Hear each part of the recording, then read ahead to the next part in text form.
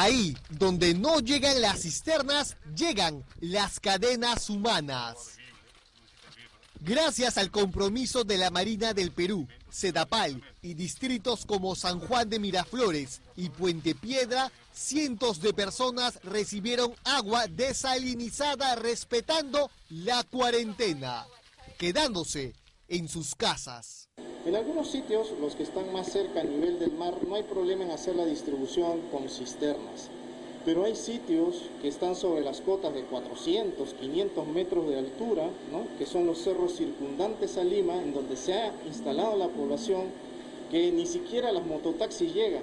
Y entonces allí a la población, para retenerlos en su casa, porque ese es finalmente el objetivo, que hagan cuarentena, que hagan aislamiento social, se les está entregando estas bolsas de agua para que ellos puedan eh, paliar la crisis en esta cuarentena.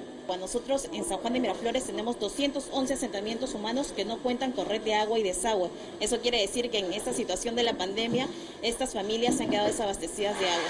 La alcaldesa de San Juan de Miraflores llevó mil bolsas al asentamiento humano La Nueva Rinconada.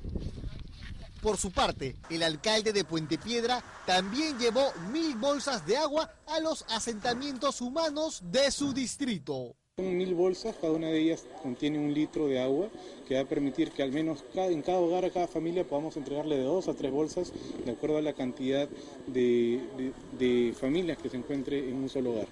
Sí, nosotros tenemos un sistema de osmosis inversa, el cual desaliniza el agua.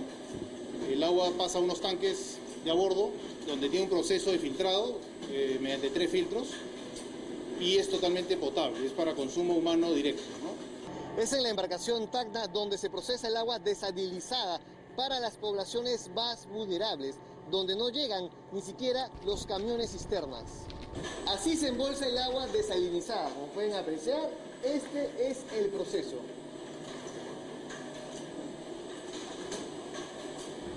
Se espera que en los próximos días diversos alcaldes adquieran agua desalinizada para las poblaciones más vulnerables de sus distritos y así hacer que se respete la cuarentena.